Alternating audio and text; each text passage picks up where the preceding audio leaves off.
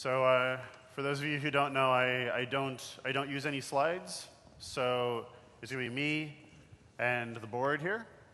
And so um, I, I write about this big, about like that, like that. And I actually will write smaller than that uh, if I get excited. And I will probably get excited. So, all of you guys sitting in back, which is mostly everybody, uh, may be upset by the end of this. Um, so, who am I? Uh, I'm Jim Benson. Got my start uh, professionally in psychology and uh, moved on to, thank you, uh, moved on to uh, urban planning. So I built very big things like subway systems and freeways and light rail and whatnot. Um, and during that time, uh, I was always the guy who knew something about computers. Um, and so it was an easy transition for me over time to move from that type of planning to building um, what we called ITS or Intelligent Transportation Systems uh, for, for government. And while I was doing that, uh, I was getting increasingly frustrated with government as a client and uh, started a software company uh, in 99 or 2000 um, to build software for government and that was entirely agile. And after doing that for a while, um, we started to see some cracks in the agile framework and uh, moved into lean systems uh, as we started to discover those. So that was like 2004, 2005, 2006 range. And here we are today. Uh, so um, as Olav mentioned, uh, Tonianne, who's sitting down here, and I wrote a book called Personal Kanban. Uh, so my psychology background uh, leads me to view things from the person standpoint and not the organizational standpoint. So it's been wonderful over the time that I've known David uh, that we've been able to kind of march the Kanban idea forward, both on the personal side and on the organizational side, and all of the things in between. Uh, I'll also talk a lot today about cognitive biases, and we have another smaller ebook uh, called Why Plans Fail uh, that talks about that. But today, for now, um, and how many people think that they're here to see me for an hour? Okay, how many of you think you're here to see me for two hours? Somebody's got to raise their hand at some point. Because uh, it's actually, we don't even know. so if you're here to see, if everybody's here to see me for two hours, I could slow down. But if you're here to see me for an hour, I have to talk really quickly. Um, so I'll tell you what, we'll see how far we get through in this in an hour, but I guarantee you there'll be stuff left over. So, collaboration. Uh, collaboration's been really important to me through all of my career. Uh, and it's what I've always focused on. So when I was building light rail systems and so forth, the government needed to work with the neighborhoods, which needed to work with the engineers, which needed to work with the businesses and so forth. Getting people who are entrenched and do not want to work together to actually work together and uh, achieve a product that is acceptable to everybody. So we think that it's hard to build software for people who might actually want to buy it. Uh, try driving a freeway through the middle of somebody's neighborhood and getting them to, to like that. Um, so, right now, we want to collaborate because our businesses require it, and they require it more than they've ever required it before. The speed of business, the changes in the market, product life cycles are incredibly short. So before you would launch a product and it would stay out there for decades, and now you launch a, project, a product and people get mad if you don't come out with a new one the next year, even if it's something as durable as a phone. You know, the iPhone seems to come out pretty much every 25 minutes, and then either seven minutes before that or seven minutes after that, the Samsung will come out. And they're, they're in this kind of arms race for who can cause people to fill landfills with cell phones the fastest. Um, and that's part of because we are in an, in an increasingly global economy with an increasingly decreasing cost of production. So, Tonianne and I have our books. right? And uh, we went out and asked publishers, hey, uh, would you like to publish our book? And they said, yes. And I said, we will give you $1 a book. And we said, well, what will you do for us? And they said, what? you want us to do something? We don't understand. We're publishers. We, we own you. We own content, and we will not, we will, we'd have absolutely no idea why you would want us to actually do something. So we said, well, we'll just start our own publishing company. And we did. And that was all the work that was really required. uh, because there right now are multiple, I've got a little bit of a head cold, so I'll apologize ahead of, ahead of time for that. Um, there are multiple companies out there right now who will take your fully formatted book and they will publish it on demand in a very professional way. We have Amazon and other online bookstores that will handle all of the, the distribution, all of the point of sale and stuff, and all we get is money. So the content was all we needed to launch that product. Whereas before, it was really hard to do that. So now, your customers, your, your competitors, at any time, they can become one of whatever you are. Uh, we are incredibly fungible at the moment. Other products, other people can come in and unseat us at any time. Now, we're not, uh, right now, we're not really in danger of destroying O'Reilly Press that Modus Cooperandi Press, but we didn't need their services anymore to get done what we needed to do. So, we'll talk a little bit about the lean startup world.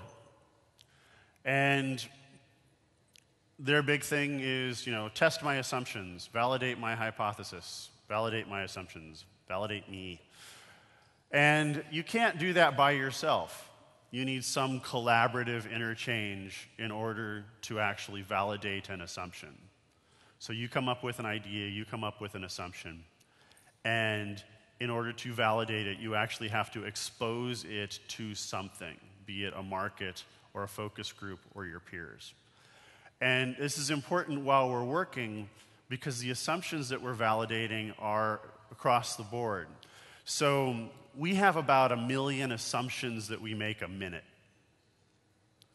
So right now, everybody's you know sitting comfortably in their little white chairs, and you are focusing on me, and you are not at all worried about all of the other white chairs, right? You're not worried about the ceiling. You're not worried about the walls. You're not worried about behind, what's behind you. Okay, but if I were to tell you that I took a big rabid rat and taped it underneath one of the chairs, all of a sudden you'd be paying attention to all of the chairs, like trying to figure out where the rat was. So, what our brains do is our brains take in what we think is the relevant and important information, and we build a plausible story about what our surroundings are.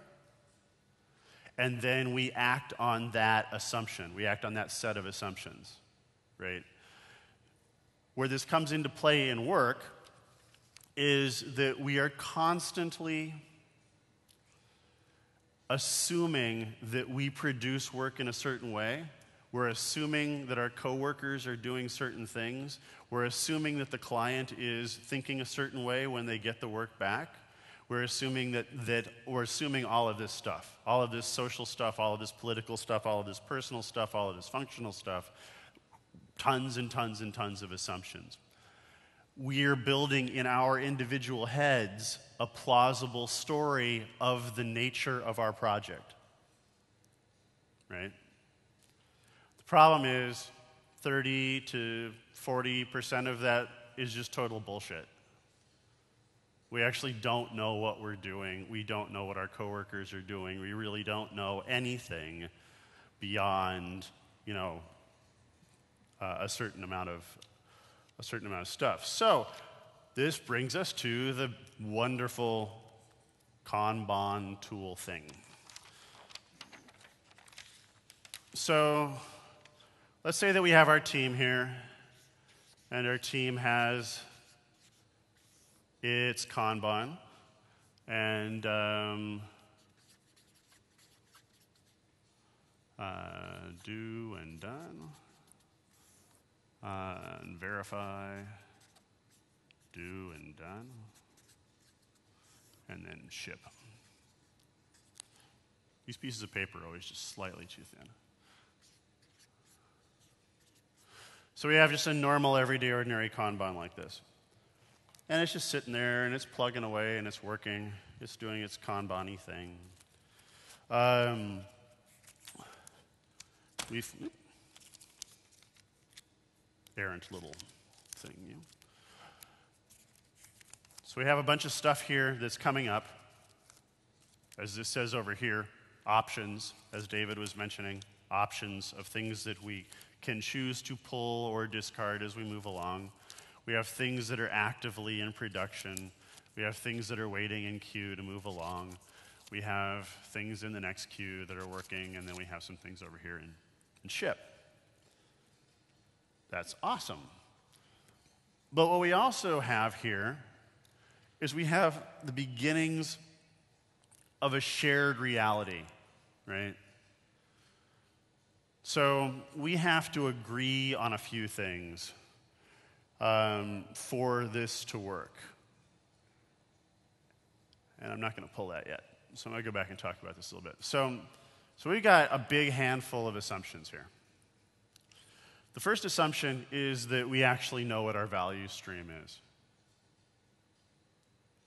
And anytime I work with any team to do their initial value stream mapping, there's several people in the room who will say, you know, this is really simple. I don't know why you just can't write it down and we can be done with it. But it's never that simple because everybody in the room has a slightly different idea of how the team works. So you'll map something out and you'll have the steps that everything flows through, and everybody says, Yeah, that, that's the way it works. And then I'll kind of do a moment of silence, or I'll just stand there and stare at the room. And after a few seconds, somebody says, Well, you know, that's not what always happens.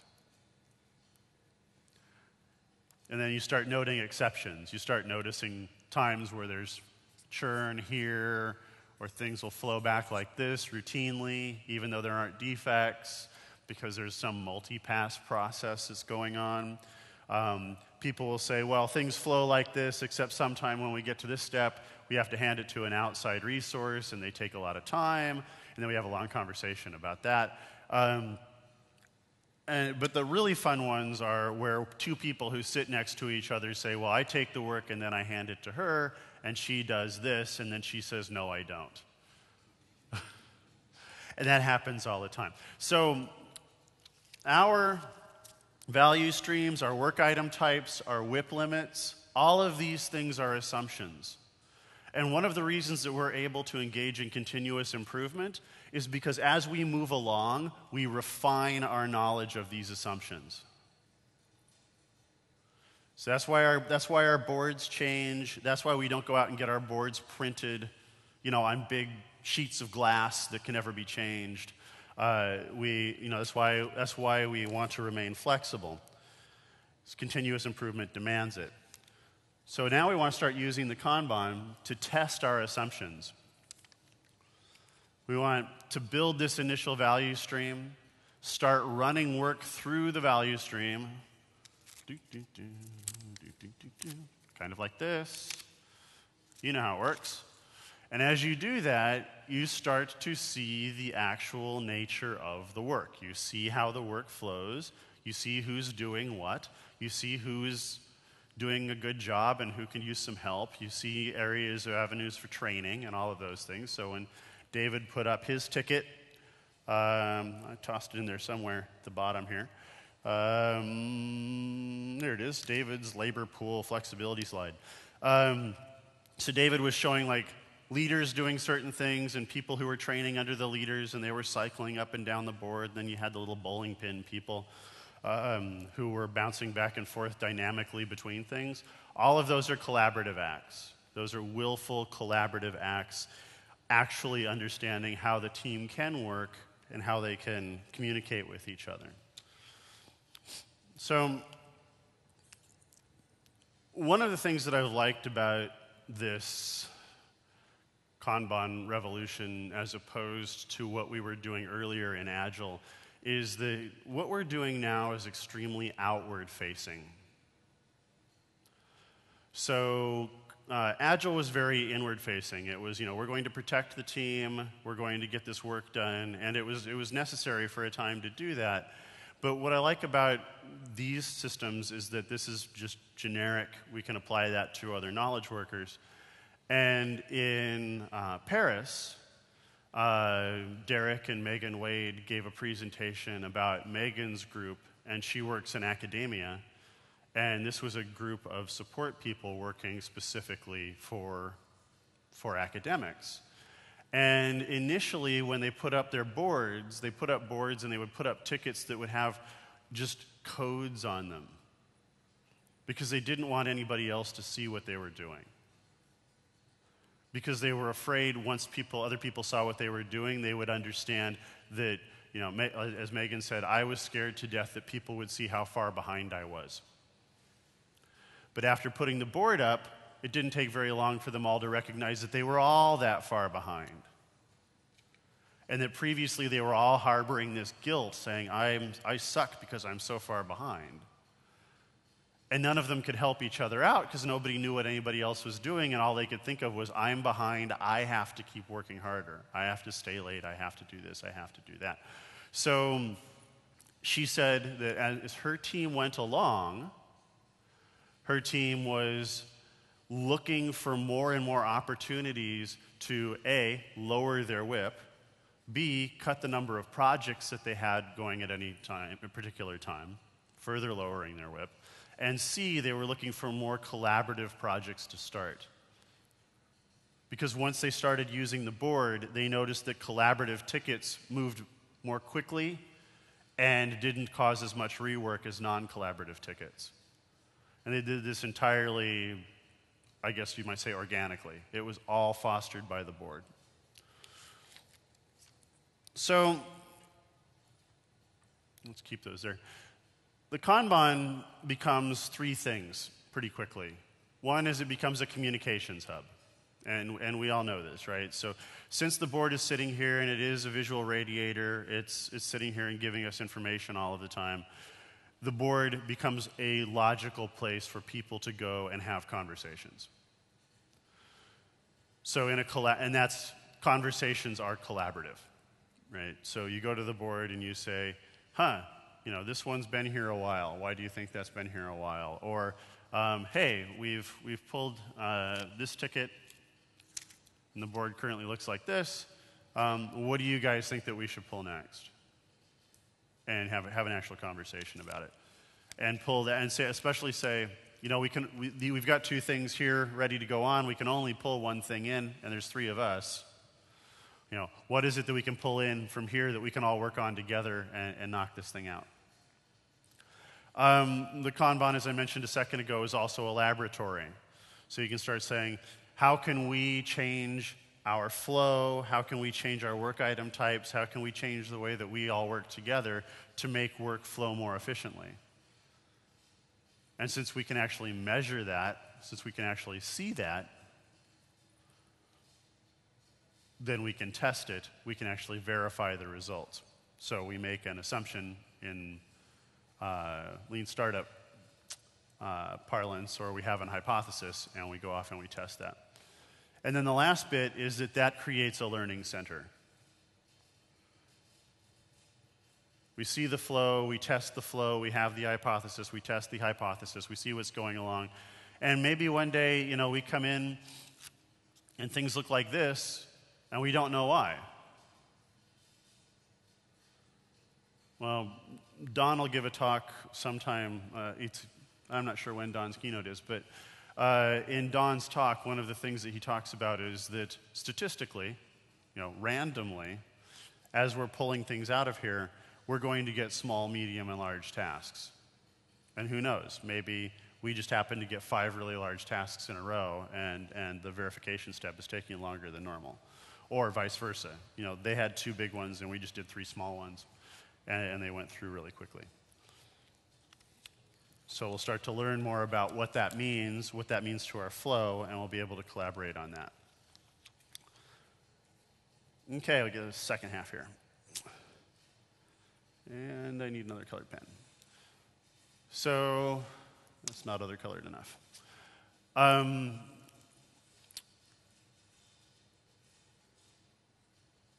when we're normalizing our assumptions and we're figuring out, you know, uh, now my story is becoming more coordinate with your story, we are creating a shared story. Story, story, story. I'm going to draw it up here. This, this is a story arc, right?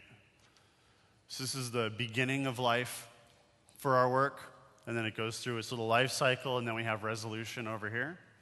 Resolution sounds better than death, don't you think? Um, so, but this is every story that's ever been written. No matter what culture, no matter where it came from, every story has a beginning, a middle, and an end.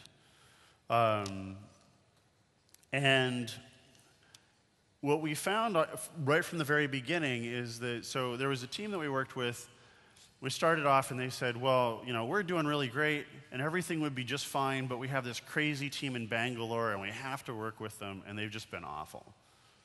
We say, Well, what's awful about them? I said, Well, you know, they're from Bangalore. It's like, well, you know, there's like actually millions of people from Bangalore, so I'm sure that they're not all bad. Um, and we're shipping billions of work every year to Bangalore, so I'm reasonably sure that someone down there must be doing something competently.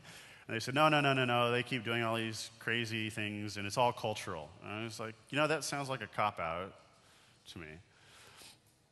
They said, well, you know, you'll say that, can you do this? And they'll say yes. And then you hang up the phone, and then they don't do it. And so, you know, culturally, yes to them means something different than it means to us. Like, well, maybe, but that still sounds really weird. So we set the teams up using a Kanban, and all of a sudden, those problems started to disappear.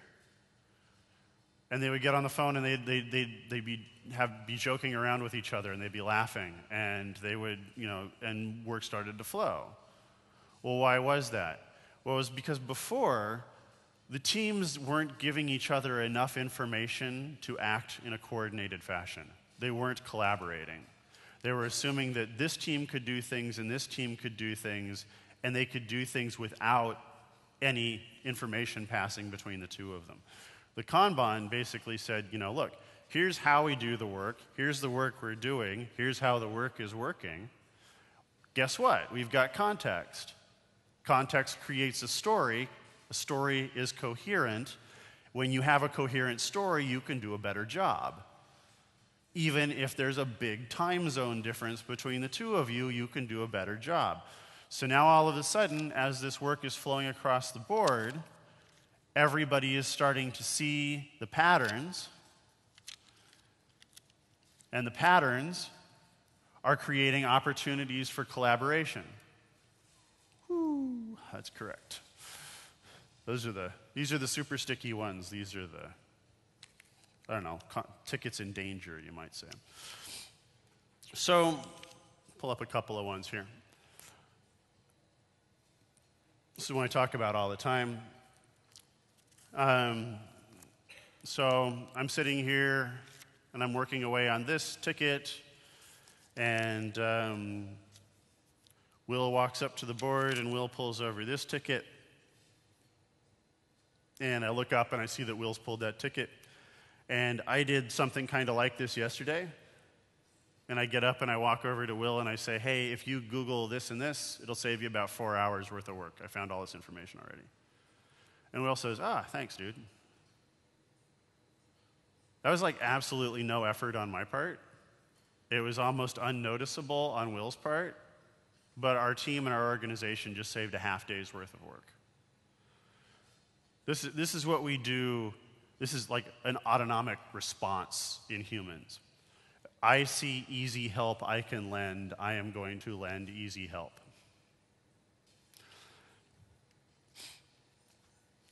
If I didn't know that Will was working on this, I could not help him work on this. It's just that simple. So, being able to see the work and understand what everybody else is doing gives us the ability to spontaneously collaborate. And the savings here are ridiculous. They're absolutely ridiculous. So the next bit here is um, uh, who, who right now works on an agile team? And how many people here do stand ups? And how many of those stand ups go, yesterday I did this, and today I did, I'm going to do that, and I have no blockers? Ah, good for you. Well, almost good for you. So, the standard mode of the stand up meeting is an admission that we don't know what's going on. So, if every single day my colleagues have to tell me what, I'm, what they're doing, that only means one thing I don't know what they're doing. You can't collaborate with people if you don't know what they're doing. So, what we want to do now is turn the stand up meeting into a collaborative planning meeting. So, we approach the board again, and there's a bunch of tickets over here. And they're all options because we've been to see Olav talk, and we all know these are all options. And we finished this, and this thing's moved over, and et cetera, and so forth. So we say, all right, so today it looks like we're going to be able to move one or two tickets. Um, what's the best utilization of the people that we have on the team today, given what we see here, what we know historically about the movement of these tickets? We know that one of these is going to move, but one of them is probably going to stay because we know that you know this shape indicates the, the, the, verification step is somewhat bogged down. So we say, I think that today we're going to be able to get to two or maybe three things.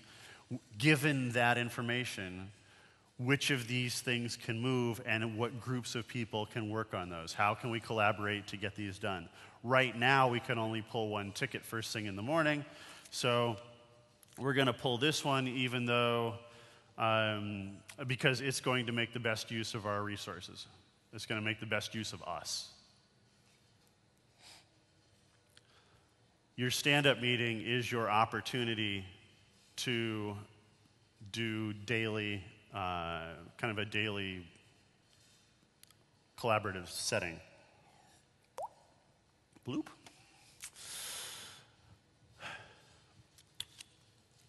All right, so now this one's really quick, so I'm going to put this one up here too. Um, swarming on problems. So,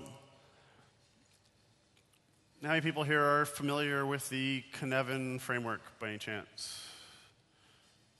Exactly less than half. Um,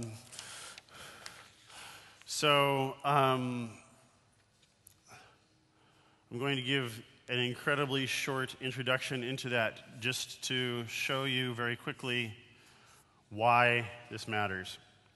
Um, the Cynefin framework is uh, a framework to examine the complexity of things and, and our work. So, I'm just going to talk about a couple of domains here really quickly and get out of it.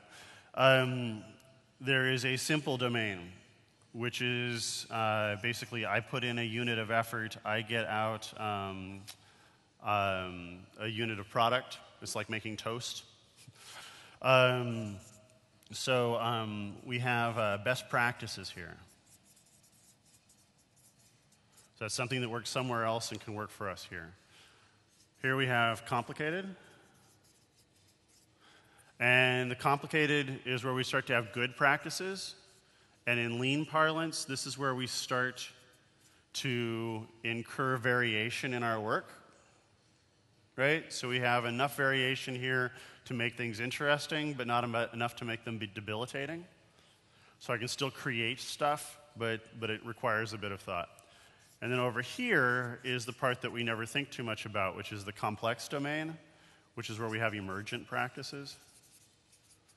And the reason that I'm telling you this is that when we, as software developers or knowledge workers in general, plan for a project, we usually do all of our planning assuming things live in this domain, which requires me to basically tell you to do something and then I leave. So, make toast, I can tell you make toast, I can leave the room, and then I can come back and I'll have some toast. Um, uh, complicated domain is where we live most often, so we need kind of back and forth communication. So that's why we have stand up meetings every morning, is to get on the same page.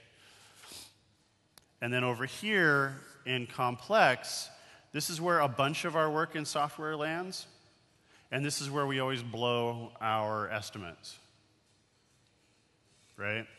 So this is basically um, I thought I was going to code this thing pretty easily, and I totally didn't. And now I've been staring at it for six or seven weeks trying to figure out what the hell's going on.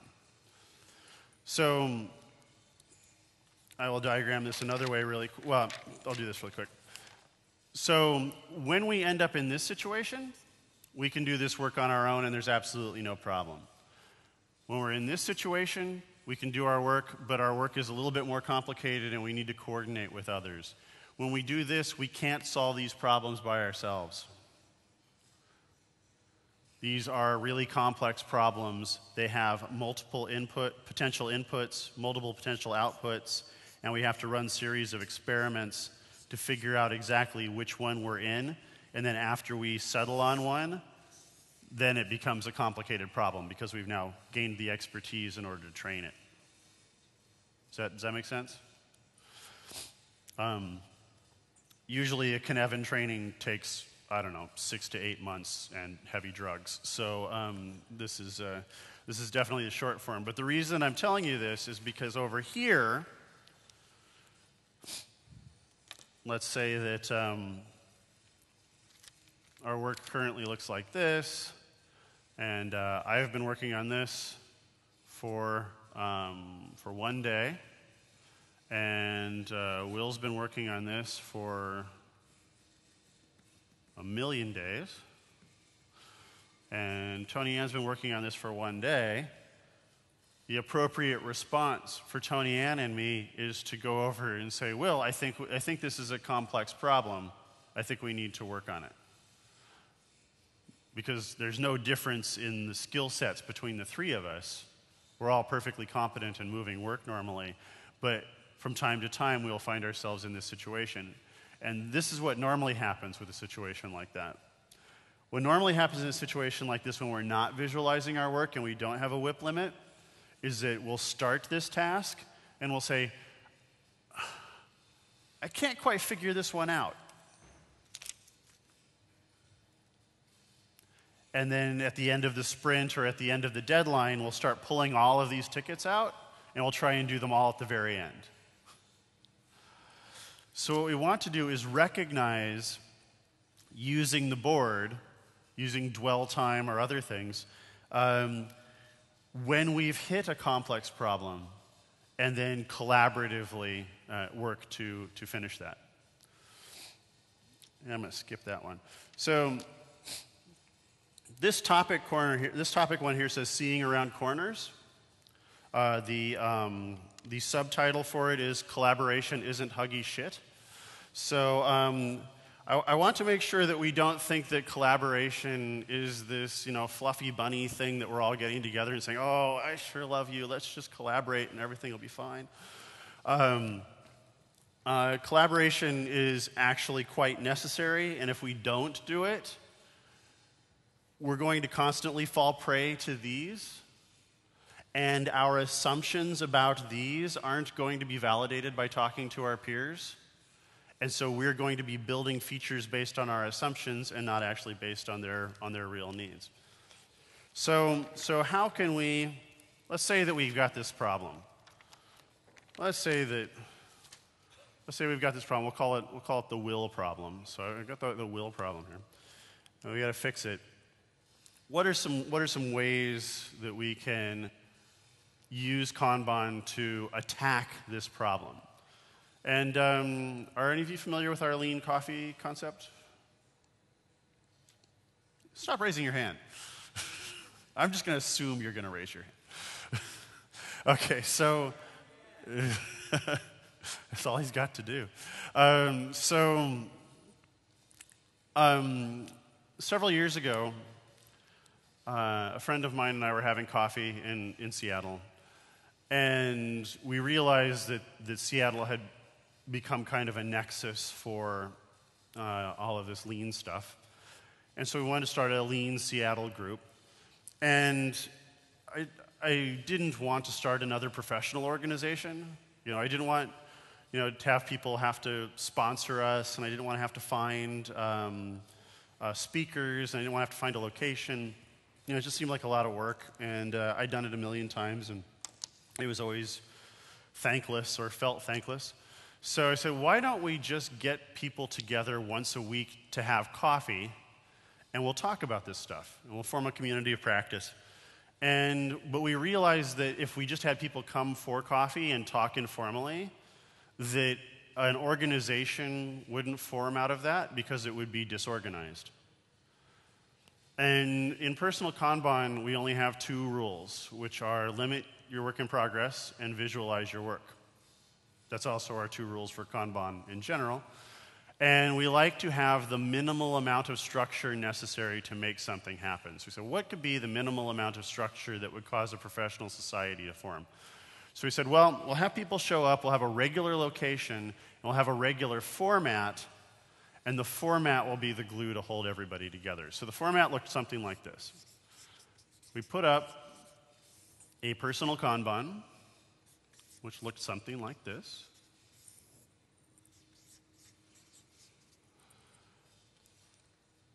And, um, you know, a little WIP limit there. And then we surprisingly, gave everybody post it notes. So everybody had post it notes.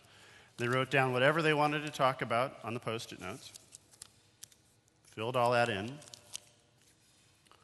gave brief introductions for what was on the post it notes, and then we voted on what we wanted to talk about. So people would dot vote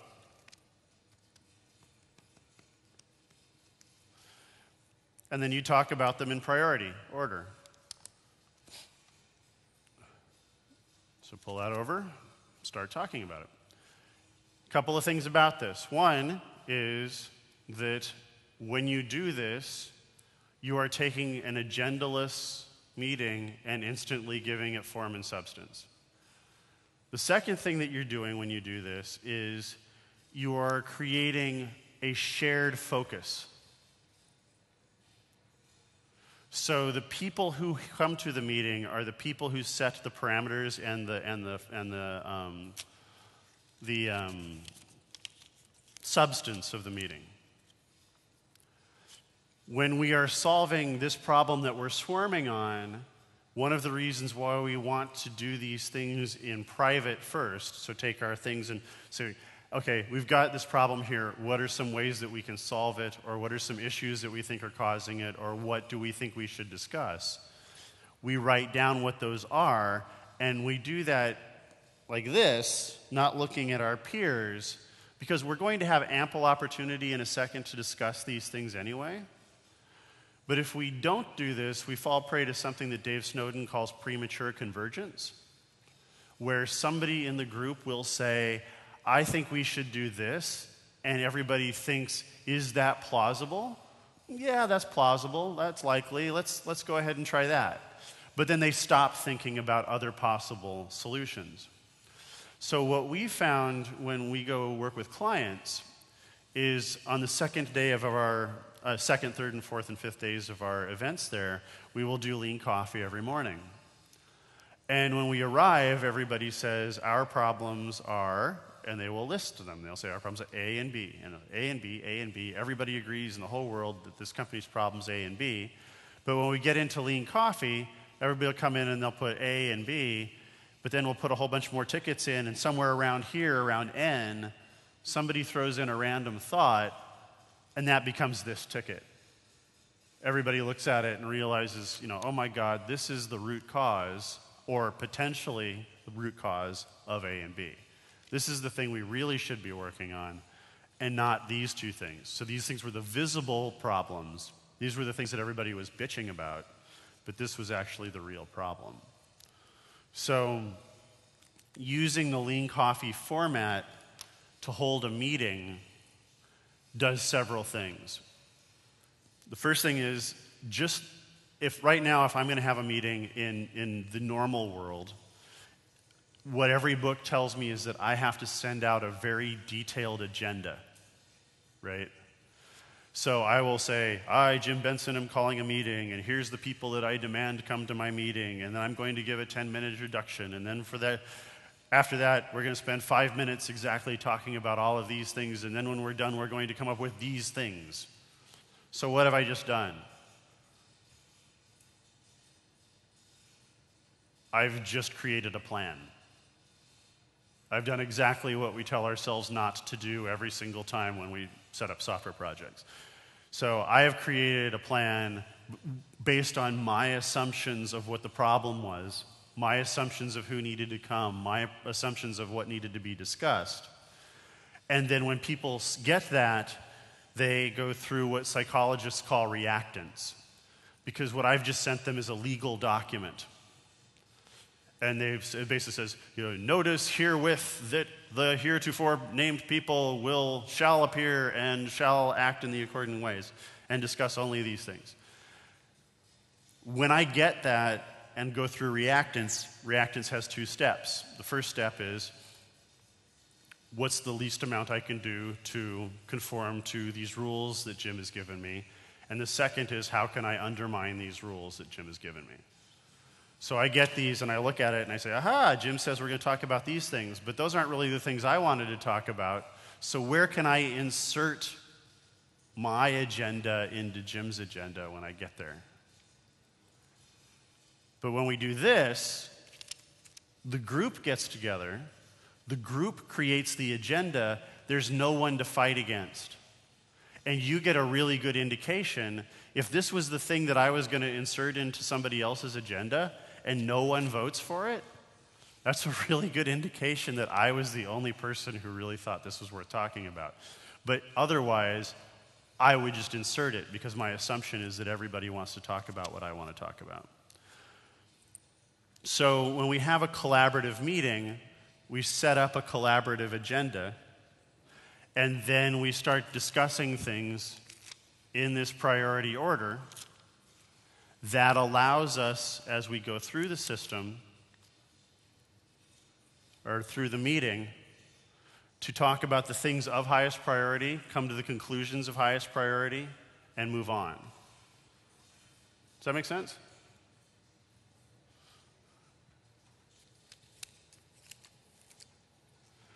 All right, we already grabbed that one. So, I'm actually going to skip those and go straight to this one because this one's fun. So, one of the things, when I've been talking about collaboration lately, um, there's been a series of articles against collaboration. People say, you know, collaboration is for extroverts, and a lot of us are introverts, and so we don't like to collaborate. Um, I would say that depending on the situation,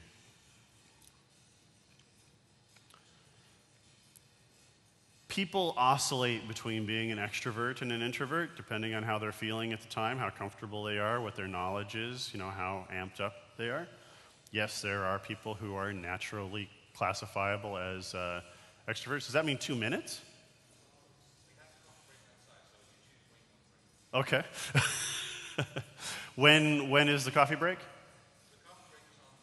It's on now. Seriously? Holy crap. All right, okay. I will get through this thought, and uh, then we will, and we'll do the coffee break. Um, so, um, at, at, one of my clients in the States, um, there's a guy named Larry. And uh, Larry is completely awesome. Uh, he's an amazing coder. Uh, he likes to blow things up. He's a pyrotechnician. He's actually pretty fascinating to talk to. Uh, total, total introvert. And so when we first started down the path of, of shared work, he was absolutely terrified. He's like, I don't like talking to people. I don't like telling other people what to do. I don't like imposing myself. I don't like this. I don't like that. And what's been interesting to watch is over the last two, uh, two and a half years or so, how he has become the natural leader for the group.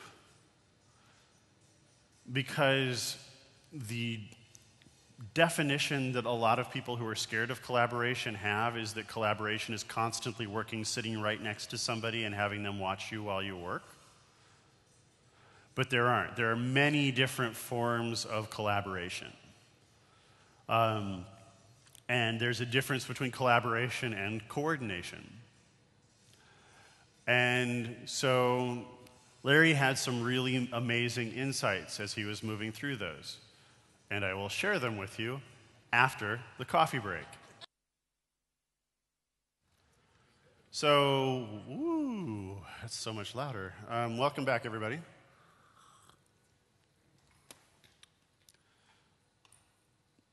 So, just, just out of interest, how many of you came back specifically because I teased you with Larry? so, um, when, uh, um, oh, he just left. Um, so the, the bald guy running around here, um, who's not the other bald guys running around, that one, um, you're too late. Uh, this guy is actually Larry's uh, boss. Um, and he um, asked Larry, it's, uh, he asked, he asked all of his people initially, you know, would you um, um, would you please read? And they said, What? I said, I would like you to read. And they're like, Read what? And he's like, Books. And so they said, Well, can you recommend books? And he said, I'd rather not. I'd rather just have you read. And they said, No, we really want you to recommend us some books. So I said, Okay. So he, rec- he recommends a bunch of books. And you can correct me if I'm telling this story wrong, Jabe. So several months go by, and he basically at one point says, Did anybody read any of those books? And they said, No. I said, Why not? I said, Well, we don't have enough time at work to read, or we don't, we, you know, when we go home, we don't want to read. And Jabe says, oh, I, I want you to read at work. And they're like, Won't you fire us if we read at work? He said, No, I'll fire you if you read at work. You, you need to read. And they said, But we're too busy. We can't possibly have enough time to, time to read. Um, but, but Larry was one of the people who actually did take to reading. And because of that, all of a sudden, when Jabe would bring things up, Larry started to become the only person who knew what Jabe was talking about. Because Jabe was talking about all these concepts that were completely alien to everybody else. And that meant that people started asking Larry questions. And as time went on, Larry began to evolve more and more into an information source, which he actually did feel comfortable with, even, even being an introvert. And what was cool about that is that the natural tendency of a company is to say, aha, people are gravitating towards this guy. He should be a manager. Right? And so you start turning A, your best developers into managers, which they're not set up to be, and B, probably forcing people who are less comfortable going to other people with information into managers. And so, even though that would be putting Larry into a more collaborative situation, it would be putting him into a situation that he was fundamentally not comfortable with, which is anti collaborative. So, saying that collaboration is only about, you know, being gregarious and working with other people is actually kind of a fallacy. So, what collaboration actually means to me is that we as a group have common goals and we are setting up a system to achieve those goals. Right? Does that make sense? Larry is now able to collaborate with his team because he has a Kanban which facilitates the communication of that collaboration. and allows him to have evidence whenever he's talking about something. So he says, You know, I think that we're having this problem. He now no longer has to build a long internal argument and then have to go to battle with other people. He can say, The Kanban now clearly shows that we have this bottleneck here. I believe it's being caused by these things. Let's collaborate on finding a solution for fixing that right now. Let's have a conversation and fix that. Um, when we first started showing up, uh, this gentleman was um, would sit in the back corner of the room. Uh, he wouldn't talk very much. Now, when we show up, he talks quite a bit.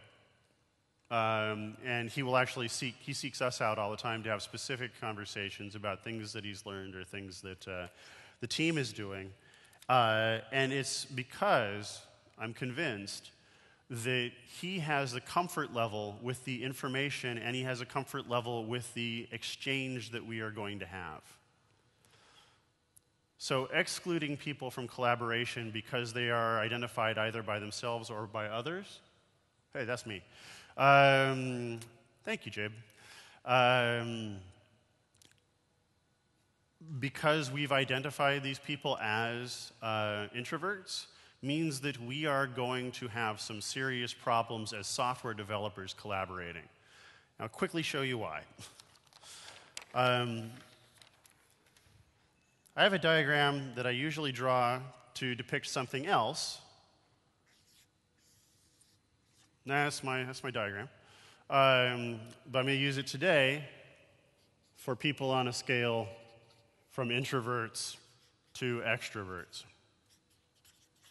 And all the way at the end is probably somebody who is debilitatingly introverted and someone who can never, ever, ever, ever shut up.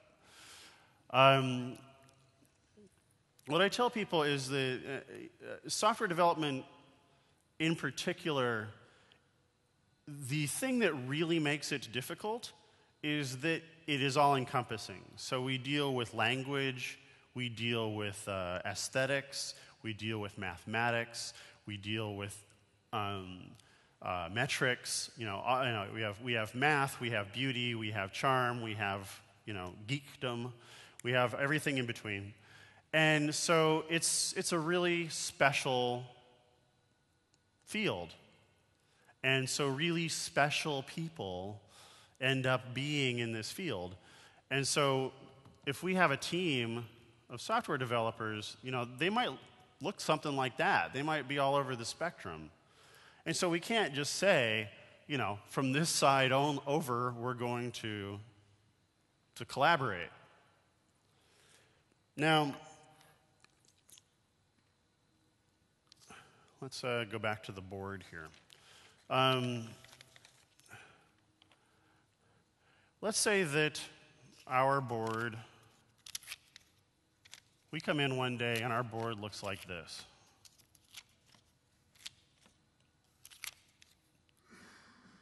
We know, pretty apparently, that the system is broken down and that there is a backup here. Okay. If our board looked like this because we didn't have a board, what do we know? We as developers know that we wrote some software and it kicked ass, and then it went to testing and it died. That's what we know. And what do we know about why it died? We know I know it kicked ass when it left here. So they must be lazy, good for nothing, rotten bastards. And I hate them. And then we would go over and we would start yelling at them and we would say, you know, you tester, you know, say tester's name is, you know, Gary. Gary, you totally suck. You're a lousy tester. I gave you all this work. You weren't able to test it. What is wrong with you? And that's what psychologists call fundamental attribution error, right? we blame the last person, the person who last had something with the failure of that something. A very anti collaborative pattern. Here, We have visualized a breakdown in the system, but it's the system. It's not the people. So we look at this and we say, there seems to be a problem with the system. So before, a person who didn't feel comfortable challenging other people with no visualization whatsoever would ignore the problem or would keep their heads down and say, I'm just doing my work and somebody else can work on that other thing. When we visualize this together, we now own, we share ownership of the whole board. Before, our goal was to do our work. We were given a user story, we type our way through it, hand it on. Now, our goal is to get something from here to here in such a way that it doesn't come back. So basically, if we have a, a, user story or a feature or whatever, we want it to go through all of these steps, and then when it gets over here, we want it to be of sufficient quality so that it doesn't come back.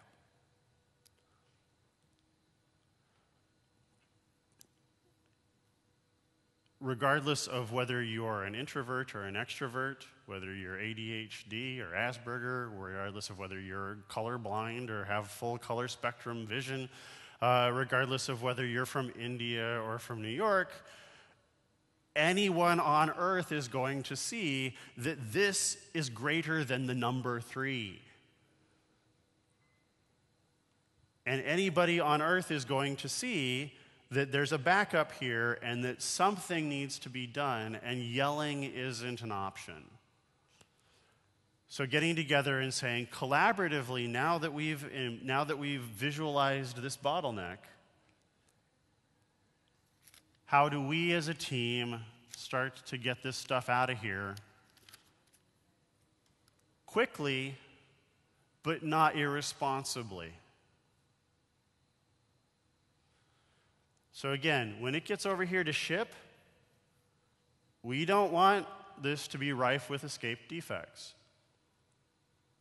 We want this to ship because it was really done. We don't want it to ship because somebody told me arbitrarily it's the end of our two week sprint and we have to ship it, or I'll get yelled at if I don't ship it. We want it to get over here so the group can actually work on that and they can say, We've got this. First of all, how do we adjudicate it? How do we get rid of it? And then, secondly, how do we stop it from ever happening again? So, we'll talk about that in a slightly different form. So, let's say our board looks like this it's a nice, healthy board. And uh, I have a cold, so I can't mimic David. I was going to I was gonna give, you a, give you a really awesome David Anderson impression, but I can't um, because Scottish hurts your throat.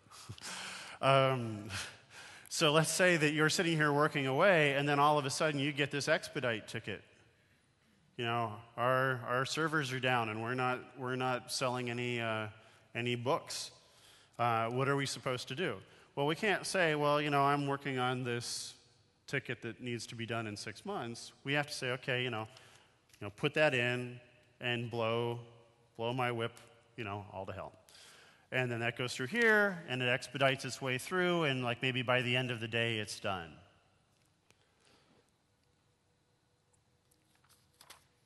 This ticket is a call for an automatic retrospective, automatic and immediate. We don't wait two weeks, we don't wait a month, we don't wait six months, or however long you normally do retrospectives.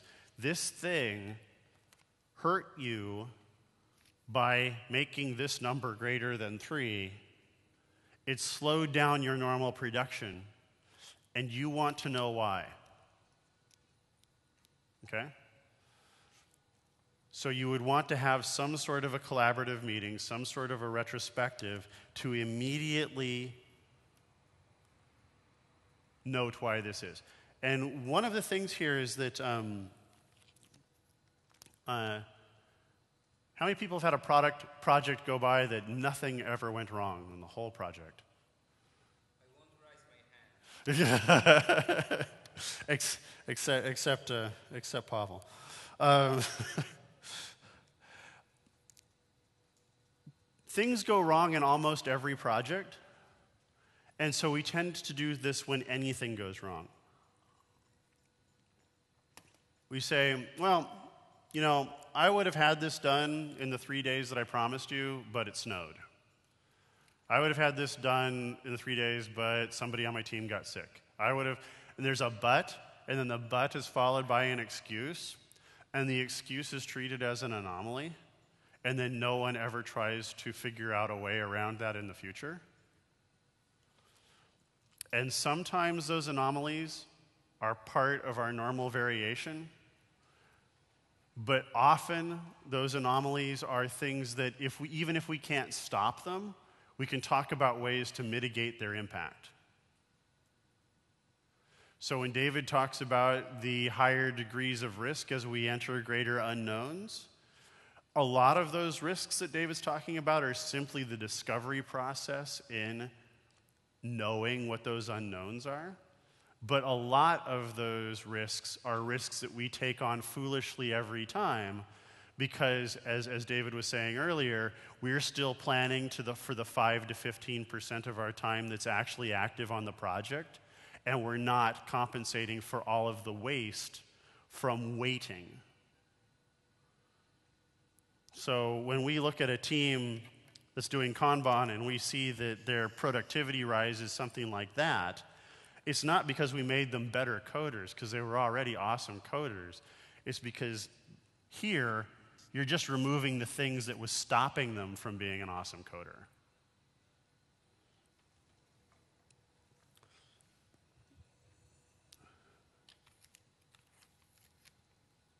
And you guys can ask questions at any, any time as well. So, to jump a little bit into the cognitive bias world here, even though I've already been in that a bit. So, the ticket here says debugging bias. And so, the first thing I'll do is I'll start off by saying that even if we understand that we have a cognitive bias, or that we suffer from all 138 of them that are on uh, the list of cognitive biases on Wikipedia. Um, so, yes, you are all right now suffering from at least 138 cognitive biases. You are all flawed. It's a wonder that you got here today. Um, so we can't actually stop the cognitive biases from happening, but what we can do is put systems in place to warn us that we are suffering from one or more of them. Um, and one of the things here is I have uh, healthy skepticism and institutionalized skepticism. So, uh, one of the other things that we've done at, at, the Library Corporation and, and in other places is we've instu- instilled systems that specifically ask people to constantly believe that what they're doing is wrong. so, when I say that, you know, this value stream that we've got here is going to migrate over time to something else. When David says that a majority often of the tickets that are currently or that start off our project in, in our um, uh, alleged um, set of options or backlog or whatever we want to call it are going to fall by the wayside, that we're going to discard them if we believe what um, most of the agile texts are, which says that 80% of all features at the beginning of a software project migrate by the time you get to the end of a software project, we have to remain skeptical at all times that what we're building is actually the right thing. Skepticism is an internal thing for us. So we keep saying, that's my assumption, that's my assumption, that's my assumption. And it is a institutionalizable thing for our teams. So when people set up their team Kanban, and then down here they might have a box of policies that they've made explicit about you know why something enters this column why something leads this column what we do when something's blocked when we do when something is taking too much time what we do when something is complex these policies are just as questionable as anything else that we're doing. So when we go through a retrospective, we tend to ask foolish questions like what went right and what went wrong, usually to a whole bunch of people who have absolutely no memory of what just happened to them. The only thing that they're going to remember are the peaks, right? So they're going to remember this sucked horribly and this was the best day ever. I sure, and so let's talk entirely about the this sucked horribly. Well, the this sucked horribly may have been, you know, a load balancer going down or uh, the power going out or something that really probably isn't going to happen again. But in the middle there is a whole bunch of daily annoyances that you can totally get rid of. So, one of the other things that we get out of this is these. This is the written record of what just happened. For real. Not, the, not how we remember it. So there's another cognitive bias, it's called rosy retrospective syndrome. No, I didn't make it up. It's really called rosy retrospective syndrome. And rosy retrospective syndrome says you tend to remember things better than they actually were. So I'm not going to, don't, don't go to childhood right away for that. Just, it's, it's okay. But, um, but we tend to remember, so, so we kind of go through kind of like this Nietzschean moment where we say, you know, that which does not kill me makes me stronger. So if something really lousy happens during a project for a couple of weeks, you'll be really ma- mad about it. But if you let it go on beyond that, you'll start to forget how mad you were. And you'll forget how much of a, of a thing it uh, was because you're like, well, we lived through it. It must have been okay. So, what we do is we ask our teams to note um, on each individual ticket um, something that psychologists call subjective well being, and you guys might call emoticons.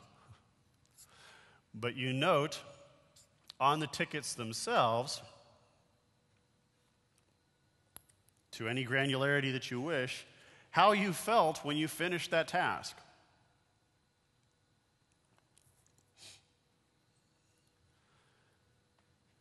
And what we're doing here is we're building a leading indicator for quality problems. Because when we go to work and we're typing away and we're, we're knowledge workers, this is, this is the tool that we use. It's the, the wetware between the, our ears. We can spend thousands and thousands of dollars a year on new laptops and phones and whatnot. But if you unplug our brains, we're not going to be typing very much. And if we go to work and we look like this, we write lousy code. right?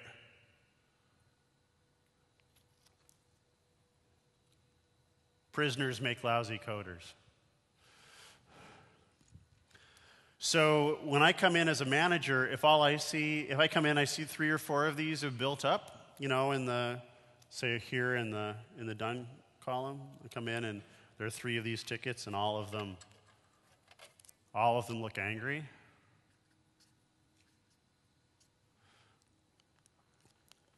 I know that my job right then is to make everybody stop working, gather them together, and say, What, what? And these, these, you know, these don't happen because, because a football match goes the wrong way. These don't happen because it's been rainy for 35 days straight. These happen usually because professionals are upset because they are not satisfied with the quality of the work that they're doing.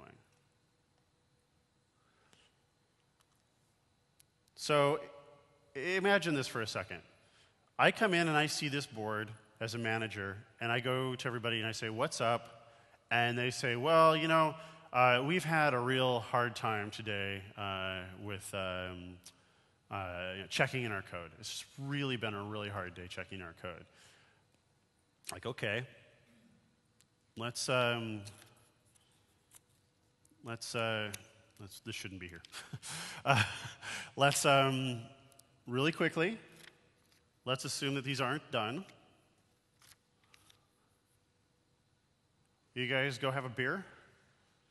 Come back tomorrow, uh, and we will do two things. One, we will start the day by figuring out what's going on with the repository that's making the car- code hard to check in. Then, after that, we're going to do a quick code review on what you guys just wrote today. I defy anybody in the world to give a coder code and uh, have them not refactor it in some way. So they tighten up their code in whatever little ways until they can turn these things into smileys.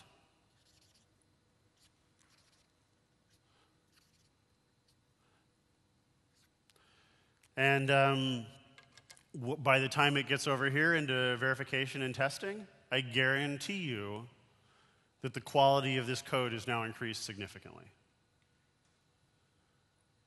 Did we lose a day of production? Not really.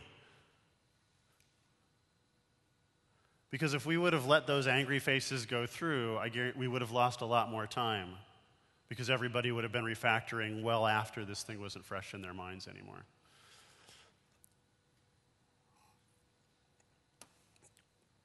This is another kind of collaboration. This is the group mind. Uh, as I was talking to Will a couple seconds ago, I'll use, use the word. This is a symbolic re- representation of the thoughts that are going through the group mind. Yes?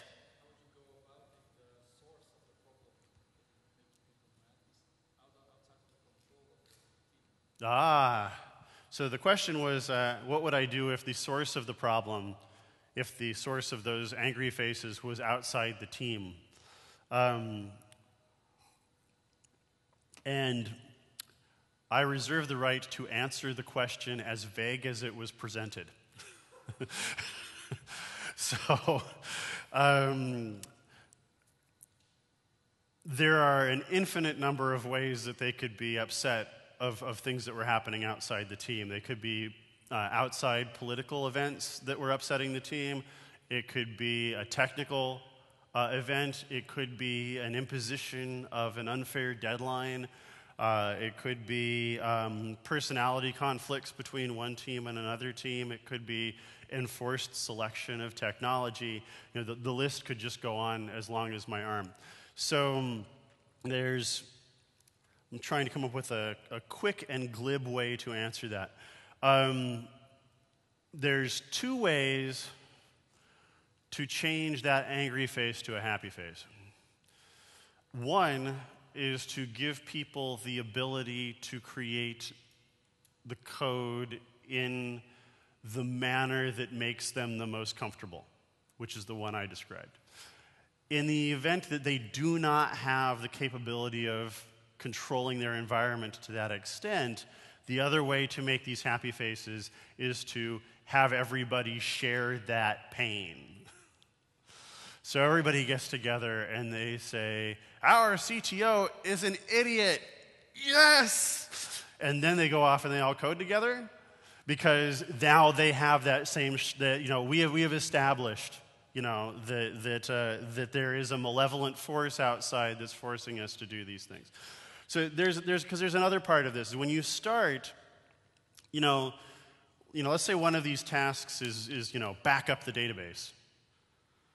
Like completely boring, pointless task that, you know, you, you, you don't want to do. Um, those will get angry faces at the beginning until people get used to the flow of the work. And then after, so initially what will happen is you'll see all of these tasks that need to be done. And then the boring ones will end up never being pulled. But then after a while, people re- recognize in order for us to achieve the flow that we want, every so often I personally have to pull something that I'm not happy with. So, what will be interesting is you'll see a migration of the reasons for putting those angry faces on there. And you have those conversations, and then you, you, you adapt. Um, now, ultimately, you, you, know, the team, the team that's angry with outside, uh, outside influence will need to deal with outside influence, but they probably don't have the political capability to, to stop work altogether until they deal with a political issue. Does that work? um, so, um, I'm going to talk a little bit about um, the planning fallacy. And the reason I talk a lot about this particular cognitive bias is because it's kind of like a container for all of the other cognitive biases. it's like every other cognitive bias, you add them all together, they would be called the planning fallacy. And the planning fallacy basically has a very simple statement wrapped around it, and it is this uh, We suck at planning. And um, the, the ultimate statement of it is in something called Hofstadter's Law, which says that human beings will naturally underestimate any task, even if they're aware of Hofstadter's Law. And given what we heard from David this morning and what I've talked about so far, we can see right away that there are a lot of forces that would cause us to naturally underestimate our work. So we think of our work as the active time that we're working, but we don't think of it in terms of the delays. And the delays are sometimes predictable, they're sometimes unpredictable. Um, we have for years run on a story point model, which thankfully we're starting to move away from. We'll use this one. But um, I had a team, I was working with them, I said, you know, I would like you to start looking at, these, the, your, at your cycle time, and I would like you to stop looking at, at um, your story points. And they said, but you know, we've almost got story points perfect. We don't, we don't want to stop. We've almost got them perfect. It's like, well, that's awesome. You know, then we probably shouldn't switch. You know, can you show me, you know, how you've almost got them perfect? And they got really excited. They said, yes, because we've graphed it all out. I said, okay. They said, so okay. So they show me these graphs, and like, here's, you know, one story point, and the time to complete kind of looks like this, and three story points kind of looks like this, and, you know, five kind of looks like this. And they say, if we could just get rid of these, we'd be perfect. I was like, yeah, you sure would. You're cute. So um, the, these guys um, I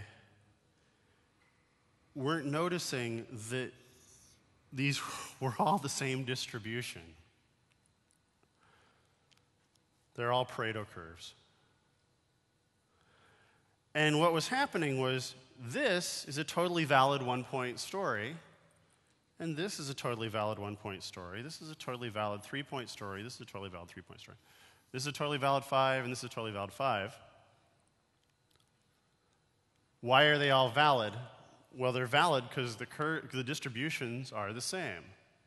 You know, if you had, you know, if you had seven and it looked like that, you know, then, you know, that would not, then it would break the trend. But this is obviously whatever they're doing, they are doing consistently. And this difference here is the graphical representation of the variation that they were, uh, that they were coming up against. So, as professionals, they were all saying, you know, this is a 1, 1, 1, 1, 1. But if they would have, if they would have done these in random order, they would have had the same distribution. um, so here, this is this, or this or this. Um, this is money. This orange thing is money.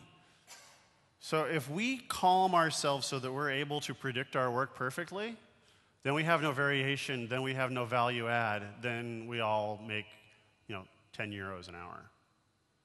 We've commodified software development.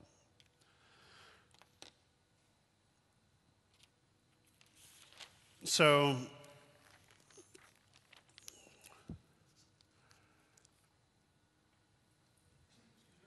Yes. I'm sorry? Yes. Yes. Yes. So, uh, um, so what was frustrating about that, the question was, did I read Daniel Kahneman's Fat, Thinking Fast and Slow?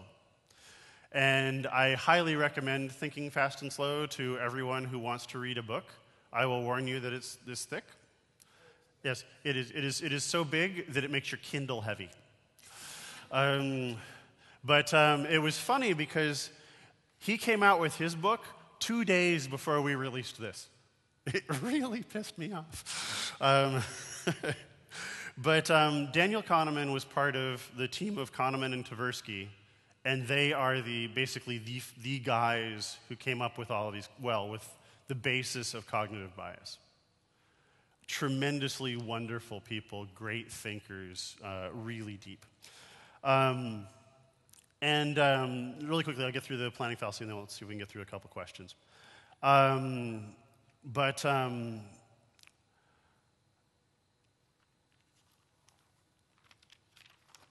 as a team, when we approach our work, as David was getting at this morning, he was saying, you know, we can do things in a quantitative way or we can do things in a qualitative way. And software development works fast enough that qualitative is actually preferable to quantitative because the time it takes to come up with numbers that are meaningful are, is very difficult. And the numbers that are going to come up become, be de- derived by any analyst represent fully all of the cognitive biases of that analyst. So when I go into multinational corporations and I say, I want you to manage your software development with smileys,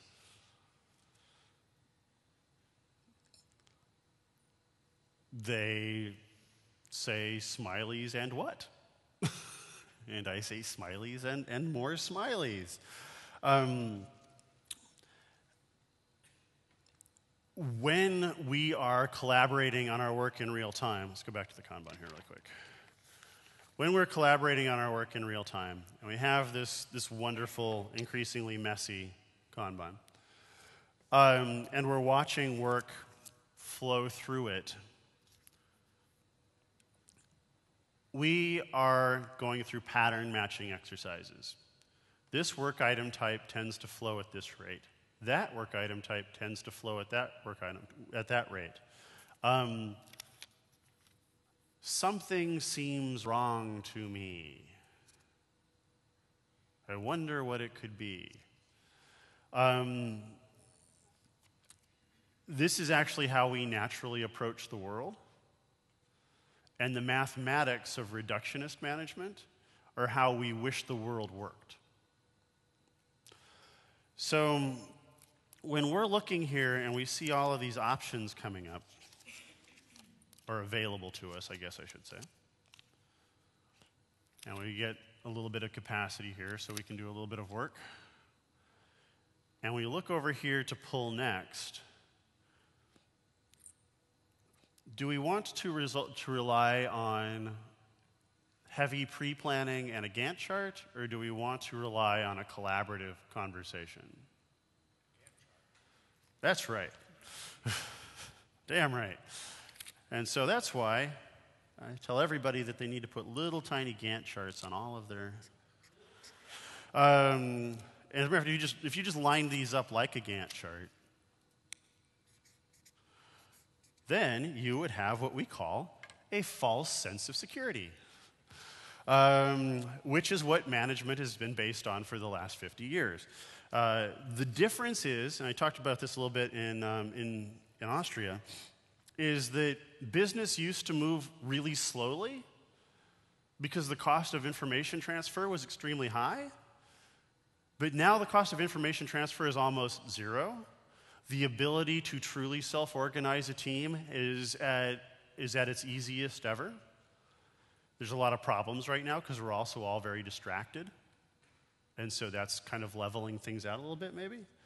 But we used to be able to do these slow things because we really had lots of, lots of time in those gaps between actual active periods.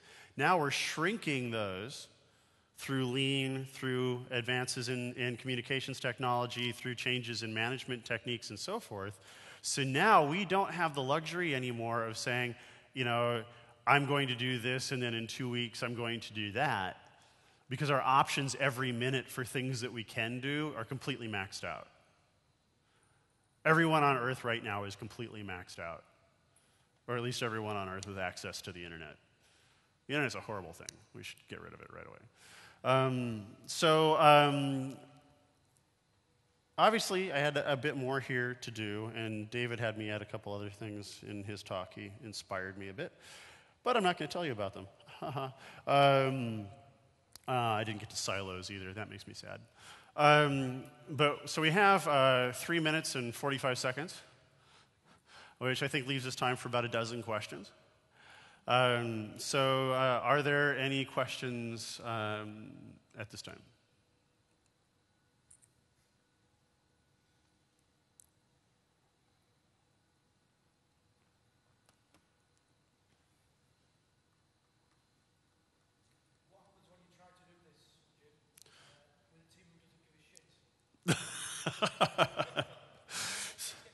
okay, so um, so let's let's diagram that out. Um, okay, so let's see. Teams that do not give a shit.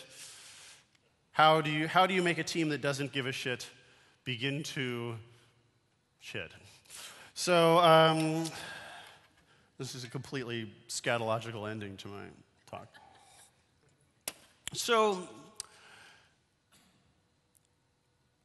I'll answer that one of I'll answer that two ways.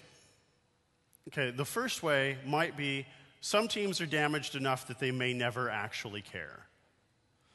In which case, I don't care about them either.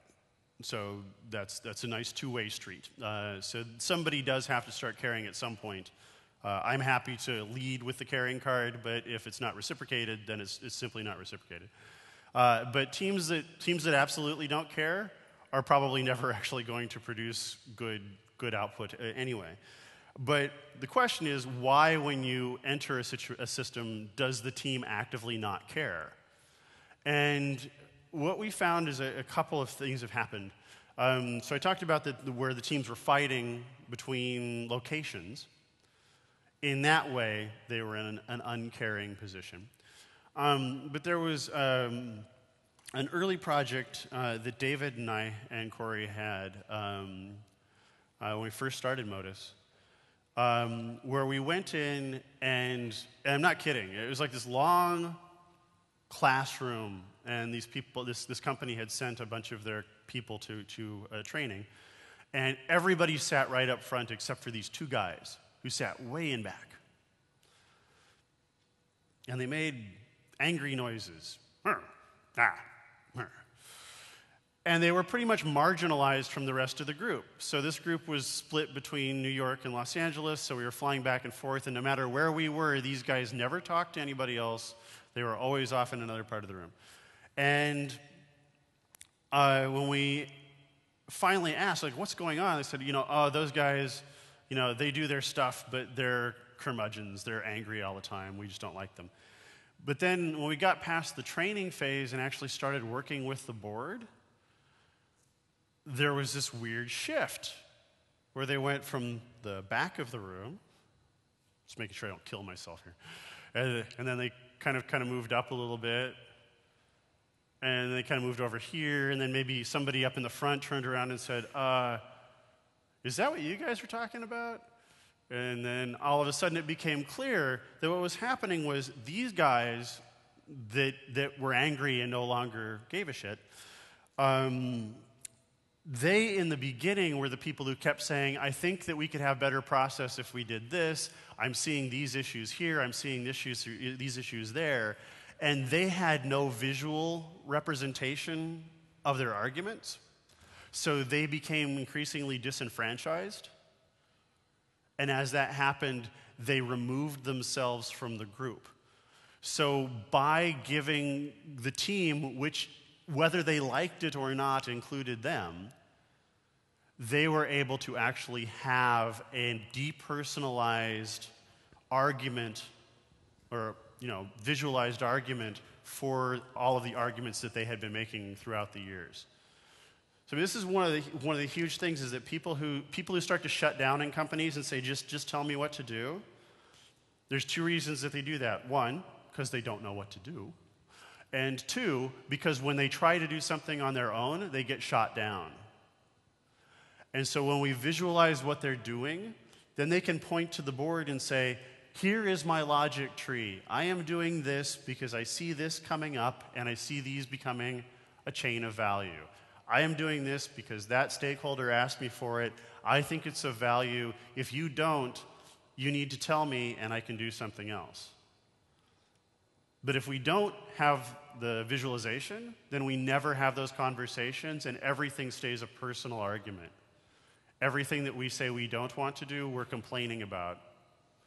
If I say I don't want to do something, I am lazy because I have no proof that me not wanting to do something will have a beneficial effect somewhere else.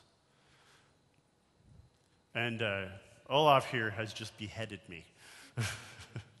so, so thank you all very much uh, for li- sitting and putting up with me for two solid hours. This is a long one. Uh, thank you.